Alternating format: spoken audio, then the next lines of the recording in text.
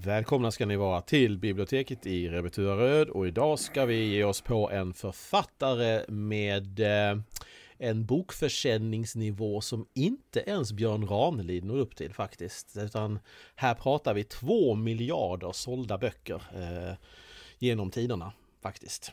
Det tror att det är den person förutom Shakespeare som Alltså om vi pratar om person som har sålt mest. Bibeln har sålt mer, men den, den är ju en, en antologi eller någonting, vad vi ska säga. Ja, välkommen kollega!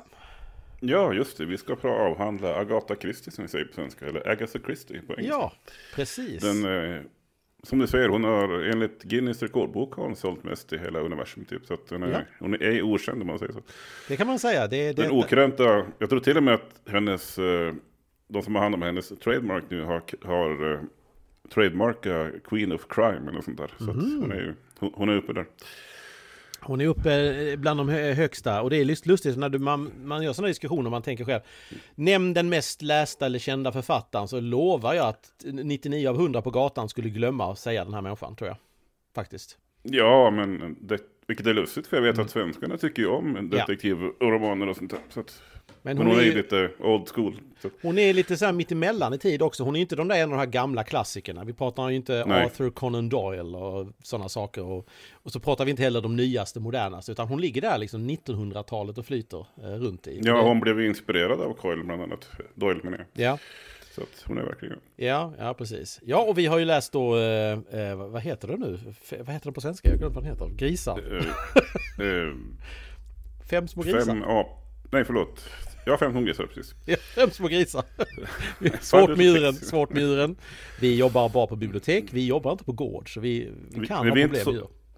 Nej, vi är inte zoologer någon av oss, så det är Nej, svårt att hålla reda på alla djur. Det, det finns mycket likheter här. Och det finns Ja. många grisar, så. Ja, det gör det ju. Herregud, kanske till och med två miljarder. Det finns nog mer grisar än hon har sålt böcker, tror jag. Jag skulle... Tror du tror att det finns fler grisar eh, än två om man miljarder? räknar vildsvin i synnerhet faktiskt. Ja, Eller vildgrisar. det, Ja, men apropå... Ja. Snillen spekulerar. Ja, Oh ja, är djur. Men, det är eh, som Fråga Lund, fast inte alls. Det är som att fråga Lund och inte... Alltså man går, man går ut på gatan och så hittar man en random uteliggare och så säger man Hej du, kan du svara på mig varför eh, det ångar om vatten när det är kallt? Och då får man eh, ett inte alltid så bra svar kanske. Nej. Men eh, vad var vi nu? Nu var vi fem små grisar. Ja, Ja. precis. Av, Agatha, av Agatha. Vi säger Agatha Christie. Agatha, Agatha ja. ja precis. Agatha, Agatha. Vad tyckte vi? Vad, vad, vad, vad, vad handlar nu detta om? Kära kollega. Eh, Det handlar om en ung kvinna vars eh, far blev mördad för rent om hennes mor. Men hon får reda på när hon ska gifta sig att eh, hon fick ett brev från sin mor som säger att det var inte alls hon som mördade sin far. Och det sätts då Agatha Christies, en av hennes två stora hjältar, jag kan inte uttala hans namn. Hercule Poirot. Eh, oui, oui. En Ja. exilbelgare, han flydde från Belgien i och med andra världskriget till England. ja. Han har ett huvud precis format som ett ägg och en stor mustig mustasch. Exakt. Jag hade, ju- jag, jag hade bilder av den klassiska sk- skådespelaren i huvudet hela Ja. tiden. Men det är, Han li- ska väl se ut... lite ägg, det är lite ägg över honom och lite. Kanske inte perfekt men ja. Nej, och han, eh, han säger i början där att eh, jag är inte... Blir besviken? Jag är inte en stor och ståtlig karl. Jag ligger och tänker. Det är mitt... Det är vad jag gör. Ja. Men i vart fall så tar då... Hur du det? Poirot. Poirot, tack. Ja. Han tar tar då an sig fallet med att undersöka det här 16 år gamla fallet. Ja. Och, vi, och och börjar med att prata med en vän som var oklart när man var åklagare. Var försvarsadvokat var han. Ja. Han beskrivs som en understund, ibland trevlig man och ibland en man med ett vargleende. Som, tydligen är han väldigt sådär, man Ja. börjar frukta hans närvaro. Ja, ja precis. Och sen, ja, sen, sen ska vi då ta reda på, jag misstänker att det är väl så att mamman inte dödade mannen, men det får vi inte reda på nu. Nej, alltså jag förstår det som att boken är uppbyggd överlag kring ett gäng intervjuer med folk. Alltså att han Mm. förhör olika människor och du vet man får dras in i lite olika trådar och att Agatha Christie är ju väldigt känd för att hon är väldigt skicklig på att plantera in falska bevis, falska grejer Mm. i resonemang för att lura läsaren och och börja tro saker och ting. Hon gör mycket sådana här medvetna twists överallt. Eh, Hon är ju... Red herring som det kallas på engelska. Ja, Röda sillar. Röda sillar, ja precis. det stämmer bra. Jag måste kasta in en pinne i hjulet här på det du sa innan. Ja. Jag reagerade på en grej när jag läste. Och det var att nämnde de verkligen den här mördade mannen som hennes far? För de nämnde honom flera gånger som mam, äm, mammans man. Mm, så jag... Jag reagerade på det flera gånger, att jag, när jag tänkte, eh, var det inte hennes pappa? Var det alltså typ en omgift eh, man eller någonting? Så Ja, jag menar att det var inte hennes biologiska i Ja, alla fall. det, det, för jag kommer ihåg att jag tyckte det var så konstigt att beskriva en person med som eh, eh, moderns eh, man. Eller hon dödade sin make. Du vet, det var liksom inte dödade min far eller min pappa. Eller, utan make hörde jag nämna flera gånger. Jag reagerade jättemycket på detta. Ska, ska lä- lite skanna igenom första in- introduktionerna som kommer före första Ja. kapitlet. Ja, skanna på så eh, dricker jag lite kaffe här. Men Agatha är ju känd för... Jo då, hon säger det här. Min fader var en målare, rather well known painter. Hon, hon Okej, säger fa- okay, hon gör det. Men det är bara att det, det Ja. omnämns på många ställen just som jag reagerar på. På så. Men då tar vi ur käppen ur hjulet och rullar på igen helt enkelt. Ja, mot Ja. den engelska landsbygden höll jag på. Ja, ja nej, men Agatha är ju känd för dels det här då att hon eh, planterar in eh, eh, falska bevis. Hon är också känd för att hon eh, eh, väldigt icke detaljerade beskrivningar. Alltså hon vill inte, hon vill inte göra det besvärligt och tungt för läsaren att Mm. eh, här kommer det tusen olika be- beskrivningar hur folk ser ut och hur de är och vilka miljöer de är utan hon lämnar det ganska mycket därhen har jag märkt. och det stämmer ju. Hon är också känd för att hon faktiskt hade kunskap om både arkeologi och gifter. Hon jobbade som sjuksköterska och hade farmakologisk utbildning i flera led. Så hon kan sina gifter. Mm. Ja. Det nämns ju gift redan i början. Han blev ju giftmördad. Men det är väl, det var är väl återkommande mordmetod tror jag i hennes berättelse. Gift. Jag tror det är ganska vanligt faktiskt. Ja, jag vet att enligt Wikipedia i vart fall så lyckas man lösa ett mordfall. Det var någon eh, patolog som hade läst hennes böcker så att hon har ju, Ah. hon kan hon vet ju vad hon pratar om. Ja, han kände ja. igen från en bok. Ja, hur det låg ja. till. Ja, ja. Eh, ska vi, ska vi, vad, vad, vad, vad, vad vi tyckte om det här kanske? Alltså, jag får lite så här... Det kändes harmlöst, inte dåligt men det känd, Nej. jag, var- jag, jag vart både så glad eller arg, det bara flöt på språket. Det Ja, var liksom ingen... Han, då han säger det, han säger det. Det var inte så det tråkigt, man kände liksom bla bla bla bla, liksom pingpong-samtal, utan det- det funkar väl. ja, Mestadels konversationer, i stort sett som du säger, inga beskrivningar förutom nå- någon enstaka, hon hade eld i ögonen och sådär. Men det var liksom, det kändes väldigt brittiskt, old boy. Liksom. Speciellt konversationen då mellan Poirot och hans eh, advokatvän. mm. Han använde en del uttryck som jag tänkte, det där var brittiskt. Jävlar. vi ska väl säga det till läsarna att hela texten är helt uppbyggd kring dialog. Det är Ja. verkligen, det är bara dialog. I stort sett, ja någon enstaka. Ja, det är inte mycket. Det är inte mycket annat. hans, hans Ja. äggformade huvud och att dottern var mycket, såg väldigt bestämd ut med en haka som var kraftfull och sådär. Men Ja. det är typ 5% av texten.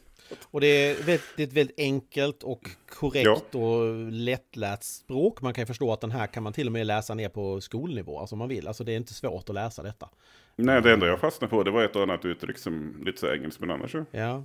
Eh, rent personligen så tycker jag inte alls om det här. Eh, och det Okej. har att göra med att jag har väldigt svårt för texter som är skrivna som bara dialog. Jag tycker det Ja. är inte roligt att läsa. Det känns som en lång utdragen process och jag får, jag vet inte varför jag tänker på ryssarna igen, men jag gör det lite grann. Ja. Att eh, det, är- det är mycket, det är pladdrigt. Det är, Ja. Eh, och folk står och pratar om sig själva. Och jag läste någonstans att eh, eh, Agatha Christie tyckte inte om, eh, mot slutet av sitt liv, hon tyckte inte alls om Poirot. Hon hatade honom. Och avskydde att skriva om honom. Om honom. Så att, så, Varför då? Därför att hon var så trött på honom. Alltså hon Ja. tyckte att han var en sån dryg typ. Alltså, eh, och jag, jag, jag tycker det redan. Jag tycker han är fruktansvärd efter att ha läst honom då i, i tio Oj. minuter. Jag tycker han är, eh, han är sån, alltså tönt, rent ut sagt. ja, alltså jag la märke till två saker. Ursäkta, jag ja. men. Nej, nej, det är det. Jag har inte mycket mer att raljera. Det för det första när hon, när hon säger att eh, hon vill, alltså anledningen till att hon vill hit, eh, rent två sin mor om möjligt är att hon vill inte att hennes man ska titta på henne. Som Nej. hon, den hon gifta med, rättare sagt. Ja. Så att då säger han att ja men alla familjer har ju gjort onda saker, lite sådär autistiskt. Ja. ja. Apropå din vånda så har jag en faktoid här. Och för det andra, han, han fastnade vid något tillfälle helt, det, det vart lite jarring för mig. Plötsligt så börjar han sjunga barnvisor i huvudet om grisar. Okej, det, det kommer jag tänkte jag inte på, men ja. Ja men liksom Ja. det är liksom mitt i, Han säger till och med högt vid något tillfälle, någon radio, när gris, den femte grisen hade köttig. Ja. Hans advokatvän bara, va? Men alltså jag får lite psykopatvarning av honom. Han känns som han bara, eh, du vet, bara kör på i sitt eh, lilla universum och gör vad han vill och vad som passar honom. Han är, han är märklig på ett obehagligt ja, men sätt. De, jag har ju sett lite utdrag från äldre filmer med han, den klassiska ja. skådespelaren. Då verkar han sådär, jag gör vad jag vill och du håller käft liksom. Ja. Väldigt, uh, han bara rullar på ju. Alltså han är en intressant karaktär men jag kan förstå att man kanske inte vill skriva, nu vet jag inte hur många böcker hon har skrivit om, Hercule Poirot, men eh, mm. eh, denna exilbelgare kanske man inte vill göra bok efter bok efter bok om, för det hade, jag hade ju blivit, jag hade blivit helt knäpp i huvudet om jag skulle behöva hantera den här personen hela tiden, för den är ju, han är ju som säger, sagt väldigt speciell. Det är, all dialog med honom är i princip bara rätt fram och eh, jag får inget intryck av att han har någon personlighet förutom Nej. att han kan saker och, lite, och tänker och kan säga dryga kommentarer. Liksom. Det är det, precis. Jag, jag, kan känna att det är personlighet i, i de få karaktärer vi andra vi har mött mycket mer än vad jag kan. Han känns ja. som någon slags konstig, eh, och det, och det gör att som antagonist eller vad vi ska, eh, protagonist förlåt, så, så är han inte någon höjdare att hänga med. För han är, han är lite för knepig. Alltså han är... Men han, han är säkert bara läsarens, eh, vad kan man säga, medium för att komma in i berättelsen tror jag. Det och, det, och det tycker inte jag han funkar som. För att då funkar, jag vet, jag har läst lite med, eh, vad heter det nu, Miss Marple. Eh, mm. Den, hennes andra stora eh, deckarfigur. Och den personen yep. är mycket mer lättare och alltså det är mer normal människa liksom. Ja, okay. Så att det, det är ju det är inga diagnoser eller någonting sånt utan där känner man bara att ja, nej men eh, henne, henne, hon är en bra protagonist. Man kan liksom följa okay. med hennes resonemang och känna hur hon löser saker och ting på ett, eh, mm. så den här personen är en rymdvarelse. Han, han, är lite, han är bara konstig och han är inte charmigt konstig på samma sätt som jag kan till exempel tycka att Sherlock Holmes är många grejer. Han är ju också mm. en man med nog allsköns diagnoser. Men han är jo, ja. charmig på något vis ändå. Alltså, eh, och känns briljant på ett vis som jag inte tycker att Hercule känns. Han känns dryg, vilket är något helt annat. Liksom. Eh. Ja, det var därför jag sa det här, man börjar, han börjar sjunga folkvisor i huvudet. Det känns mm. som att han liksom bara, han bara säger saker och sen får det gå som det går. Med den ja, nej, jag vet inte. Det, det, någonting med det här bara strök mig mothårs. Jag, jag, jag kommer inte jag tror jag, jag, jag, är mycket mer sugen på att titta på Miss Marple. Eh, vad jag, är på. jag ska nog läsa klart för nu har jag ändå mm. påbörjat. Ja, se ja. vart det tar vägen. Ja, jag vill se om mördaren är någon, någon helt ur det blå liksom. Ja. Det är en klassiker men jag vet inte om jag... Nej, nej. Som jag säger, språket är inte farligt. Det är nej, lättläst. Det är en, inte språk. lättläst som i nyheter för, för enkla människor men lätt, lätt flytt liksom. nej, enkla människor var ordet. jag kommer inte på något bättre. Nej, men liksom, som du säger, man skulle lätt kunna läsa upp det för ett barn. Kanske att man får svara på något enstaka engelskt uttryck. Ja, det var, det var ändå tidigt 1900-tal. Ja, precis. Absolut, där är ett annat. Men det som jag har svårt för, att jag har just dialog fram och tillbaka. Det är inte svårt, mm. men det, jag tycker det är stampigt. Att man hela tiden ska läsa ut allting. Det finns ingen break. Jag känner inte det här naturliga som man kan få när man bryter mellan lite dialog och sen så kommer det lite sån där berättare mm. eller någonting och sen så kommer det lite dialog. Det är mycket enklare. Det här är, det här är, puh, det här är som ett maratonlopp i dialog. Jag blir, jag blir lite mm. andfådd av det. Alltså. Nej, stör inte. Jag tyckte det var, berättelsen ja. kan vara intressant oavsett Poirot, men eh, mm. det var ju mycket bättre än vår egen svenska deckardrottning i vart fall. Som hade mindre dialog men... Det var ett väldigt starkt ord du använde där om vår... Eh, ja, det det, jag, jag, jag, känner att jag, jag, jag vill nog ta avstånd från det ordet lite grann så. Den eh, kända deckarförfattarinnan. Ja, så. så kan vi, det låter mycket, mycket bättre. Det låter mycket, mycket bättre. Det, det, det, det, det Men jag skulle tro, tror du att Agatha Christie kanske försökte göra en Sherlock Holmes av Poirot? Det tror jag, liksom absolut. Det, det är jättemycket eh, de, de vibbarna man får. Hon ville skapa en egen variant av denna udda mm människa eh, som eh, Sherlock faktiskt är ju. Men, jag gillar förresten inte TV, den moderna varianten, den här tv-serien som går Han är han är outright psykopat för fan. Ja, alltså inte... absolut. Han är, han är speciell. Jag tycker om det, för jag tycker det är bra dramatisering. Jag tycker den är spännande och på det viset. Men jag ja, det är karaktären jag inte gillar. TV-serien ja. går väl an, men han ja. i sig skulle jag inte vilja ha i närheten av. Nej, jag föredrar... Eh, eh, åh, nu tappar jag namnet på honom. Mm, han som gjorde... Basil Rothburn? Nej, nej, han är en stollig britt bara. Uh, ska se, vad heter han? ja, men det tycker jag är stollig. Uh, jag, måste, jag måste ta reda på vad han heter. Uh, min kollega får underhålla er så länge medan jag, medan jag letar.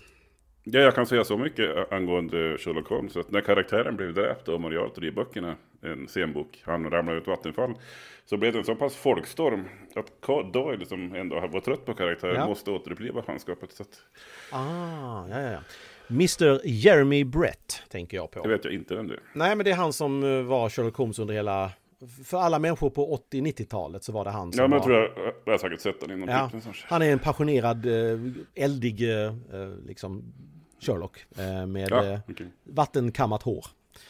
Så att eh, vi läsare från, eller vi lyssnare från födda 60, 70, 80-talet har garanterat stött på honom i alla fall. Det tror jag. Mm. I Ja, den gruppen tillhör jag, men jag måste, jag kanske ja du, du, jag tror att min kära kollega bara har en liten temporary brain fart och att han mycket väl vet vem jag menar. För det är, det är, det är en väldigt Jag är tyvärr dålig på namn, så det kan Ja, vara därför jag, ja. jag har nog sett den. Ja, ja, Ja, nej, men jag skulle säga, vill man ha... Jag tycker ändå, jag ska ändå läsa klart den, för det är ändå liksom, det här är en av hennes mest populära böcker. mm, Och jag menar, vi, vi läser ju klassiker, jag vill Ja. ändå läsa en deckarklassiker i alla fall, se om jag... Jag, jag känner att eh, jag har öppnat den här flaskan och smakat på innehållet och att nej, det föll mig inte i smaken. Så jag, jag, Du jag, stoppar, till, ja, Ja, du stoppar jag- tillbaka Pandora jag eh, skruvar igen korken och låter en annan stackars kund köpa den här flaskan. Sån är jag. Men skulle du rekommendera till folk som vill läsa deckare ändå? Ja men det tror jag.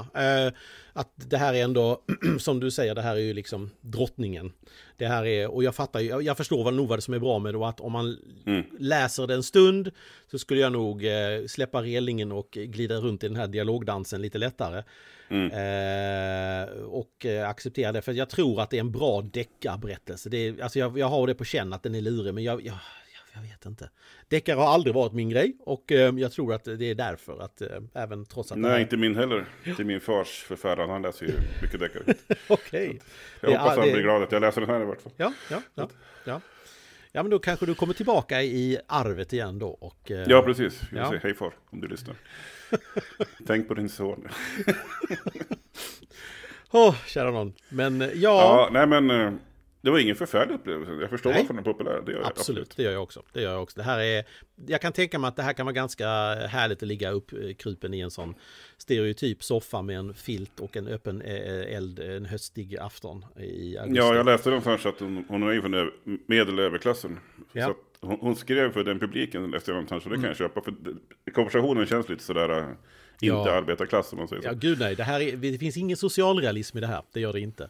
Det är liksom inte oj, governor, fancy cockney liksom. Nej, det är inte ens den gammeldags, utan det här är, det här är väldigt så, mm, nej, det är lite Två, myspysigt. tjänst, två övre tjänstemän pratar om ett rättsfall, det är lite den feelingen jag fick. Ja, men det, är, det här är ju Midsummer, alltså fast uh, Murders, fast, fast på, i bokform och, och äldre. Alltså det här är ju liksom, Alltså den stan borde blivit nedstängd för länge sedan på grund av ytterst, alla medborgare borde bli inlåsta liksom. ja men det, det är väl en, ja, men det är väl en, är det inte en, det är väl en county i Midsummer, alltså, en- eller en sån eh, typ Ja men kommun. oavsett, det området är ju Men det, pat- det var ju någon som hade räknat på det och sa att, att det är ju mer, att mer mod i den eh, eh, countyn än vad det har varit i typ vissa, alltså hela länder. Alltså så här, det, det är som det är helt absurt, så här, 3000 mord eller någonting har det varit under de här eh, alla säsongerna. Och det Mm, jag säger räknar, ja, räknar du på det rent kap, per capita så är det den absolut mest farligaste platsen i världen i världshistorien. Något sånt där. Det ju det. Ja, Så att de borde ju ringa in skiten och göra ett förbjudet område. Ja.